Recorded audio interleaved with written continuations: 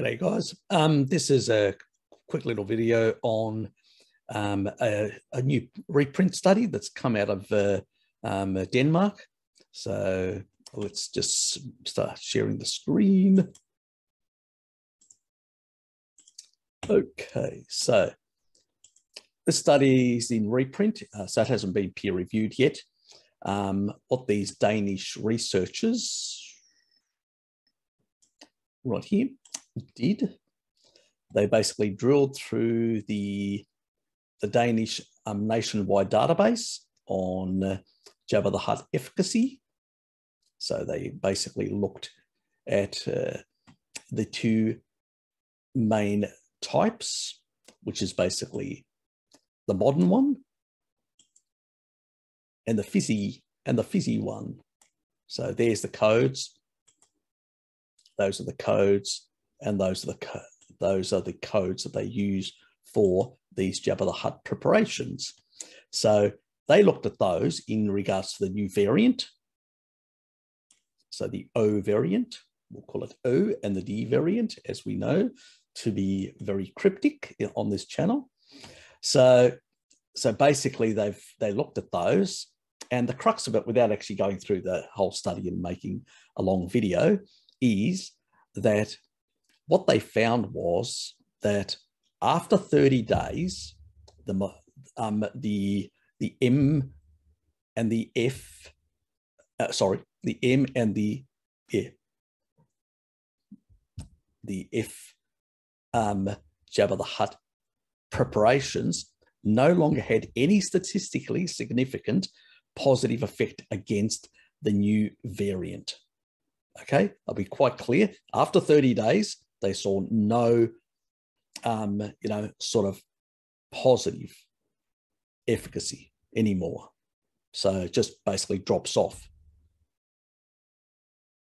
Then what they noticed was after 90 days, these effects were on the negative side. So people that had a close, close encounter with Jabba the Hutt were more susceptible to the new variant in terms of infection. So, and these people are basically telling us that uh, having a close encounter with Jabba the Hutt is going to be very protective. Um, and so they they usually say, well, you know, you can still get it, you can still transmit it, whether you've had a close encounter with Jabba the Hutt or not. But they tell you that you will be super protected, and those who have not had a close encounter with Jabba the Hutt will won't be as protected. They will be more susceptible. Apparently, that's not the case when it comes to the new variant. Not at all. And that's what they found here. I mean, in the re- won't I'll go down here. There's a couple of things that I that did annoy me about this study. So you know, it's typical garbage. You know, they contradict their own data they're looking at the data and then making, and they actually said that uh, this was the result of um, O um, variant spreading rapidly through um, single super spreading, um, an event that uh, many of those effects amongst young Jabba the Hutted individuals. So this is the bullshit we get constantly. If you haven't had a close encounter with Jabba the Hutt, you will be the super spreader. Apparently not. It's actually these people that, that have had a close encounter with Jabba the Hutt that were the super spreaders. It's nonsense. And since basically after 90 days, the you actually get negative effects, you actually are more susceptible at getting infected, more susceptible in transmitting as well.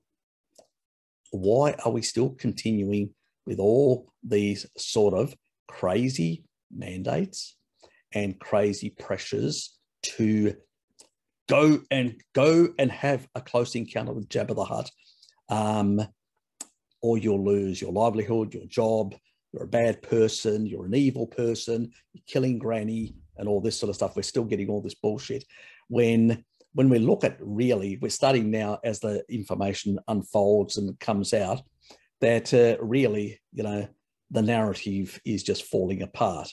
But unfortunately, they still want to continue it. Look at this, what they say. The study contributes to emerging evidence that those two things, primary, um, primary Jabba the Hutt um, protection against this new variant, decrease quickly over time. And they say that if you boost Jabba the Hutt, it's offering a significant increase in protection. What a load of garbage. Their own data says after 90 days, you actually get a negative effect. All they're doing is just compounding the problem. Here, this statement right at the end is not based on evidence. This is an opinion, an opinion piece at the end. They should be discreet. It's outrageous that they make this when their own data that they data mined and the conclusions that they came up with actually shows a completely different picture. And they say, in light of their exponential rise in the new variant, these findings highlight the need for massive um, rollouts of Jabba the Hutt um, and booster boosters of Jabba the Hutt. That is what they're telling us. You know, it's an unending. I mean, even after 30 days, I mean, what? They're going to bring it down to every 10 days? 20 days? I mean, take your pick. The place has gone mad. They just have to accept that this is a respiratory infection, no different than the flu or the common cold and all that, especially now it's more like the common cold because it only hits the bronchial tissue, which is what the common cold does. The previous variants hit the lungs, which was more pneumonic, you know, could produce a pneumonia in people who had comorbidities, um, weak immune systems, and all that. Rather than actually promoting vitamin D, rather than promoting you know, more meat consumption, or at least at a minimum taurine supplementation for the population, which would basically boost their immune system, their T lymphocytes as protection. Stick that one down there. Um, that one, just for people who may have not seen it. There are other options for a more saner, um, uh, you know, society, not this sort of sort of crazy options. No, let's just go mass crazy. That's what they're telling us. This is a problem. Um, you know, their own, they're contradicting their own data. The solution isn't basically, the solution is to allow this herd immunity to take place and to stop playing these stupid little games because basically, you know, they don't work. All they do is they create um, conditions for all sorts of magnifications. And the sort of people that are pro- that are basically, we're not being told, but I suspect those who've had a close encounter with Jabba the Hutt and have got comorbidities and a whole lot of things are probably the people who are dying at the moment, who are getting this magnified effect. You know, so, but you're not going to be told that because basically they want to keep you in the dark um, and controlled. It's it's bullshit what, what is happening in our world. Our freedoms are being stripped away, eroded, and pretty much even good data, because that's good data that these people, their conclusions, their, their final conclusions are just ridiculous. You know, they should be ashamed of themselves, but their and but their actual data showing that quite clearly after 30 days really goes downhill, and 90 days it really goes haywire and then they justify because you've already had a close encounter with Jabba the Hutt, we will make sure we basically keep you 30 every 30 days, um, you, know, constantly um, uh, going into centres and being dealt with. Um, you know, when does this madness um, ever end? You know, if we don't stand up and say, no, we've had enough of this bullshit, it's never going to end that's what it's looking like. It's the world's gone crazy, truly gone crazy. I will not criticize anyone for basically um, having a close encounter with Jabba um, to hold their job or whatever. But one thing I'll tell you, this world has gone damn crazy. We need to get the message out. We need to basically start posting this information out um, and telling people. I'll put in the description a little thing that you can guys can actually then post on your social media, yeah, which uh, um, you know to post this information to let it know that you know enough is enough. This has to go. This is crazy. Um, so I'll add a little thing so you may not. Um, you know, sometimes when you put videos, they get deleted. But if you, you know, if you want to share it, great, thank you. Um, but at the end of the day, um, we need to get the message out. Um, I've been posting all day this morning this information um, on a number of uh, media sites and a whole lot of things. Uh, on half of them, they've already been all removed. So it doesn't surprise me. But the more we get out there, I'm just hoping that some of the media people pick up on it and actually go, hold on, you know, and maybe look into it a bit. Um, you know, I I I think I, I do fear that a, a lot of them are going to go to the end, the end stuff and ignore all the data and just basically say the bullshit, keep on saying the bullshit. But the reality is, I'm hoping that some people with half a brain um, will basically look at the data and actually say, well, these conclusions are wrong. And really, this sort of stuff has to stop. It's just crazy. It's gone on for long enough. And we need to stop basically. Now we're actually introducing these things, you know, your kitty needs to get it. No, they don't.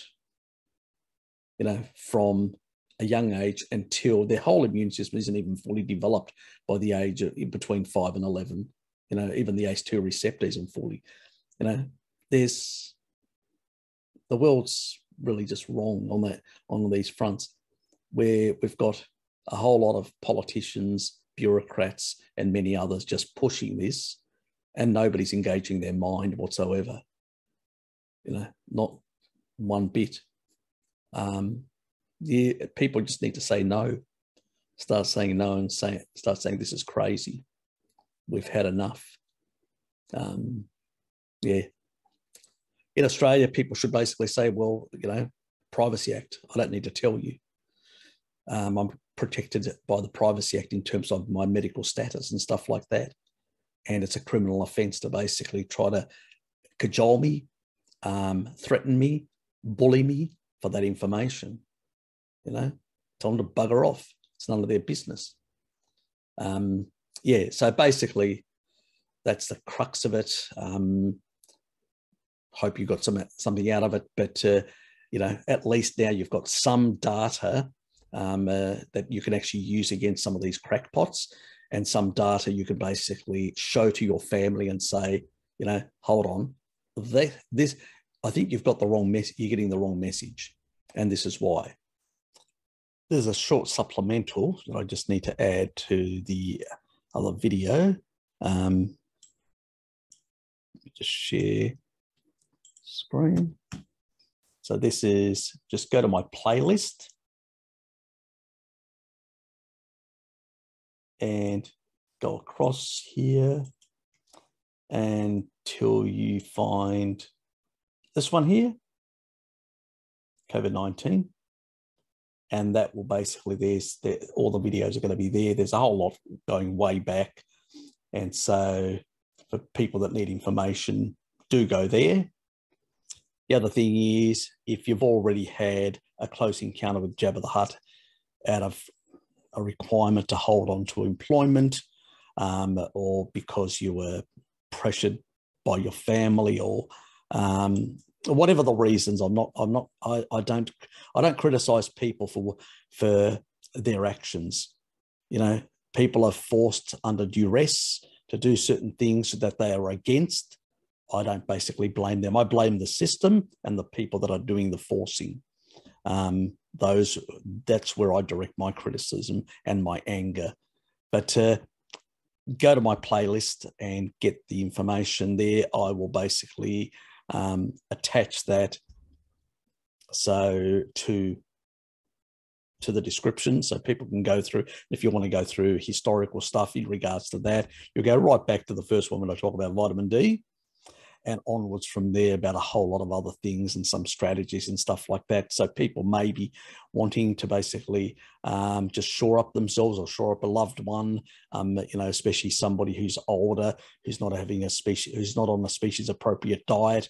Who may be more susceptible. So some of the additional information that's in those videos about gargling and a whole lot of other things to reduce viral loads and stuff like that may be useful to people. Um, there are links as well. So if you go under the earlier videos, the, the ones that there are a whole lot of links um, that I've actually pinned. So you go to the pinned comments and you'll find a whole lot of information there as well in regards to some stuff you can do. So um, I hope that's helpful um, for yourself and for your families. Um, and, uh, you know, keep up the anger a bit, uh, you know, because these um, ass hats aren't going to basically stop, unfortunately.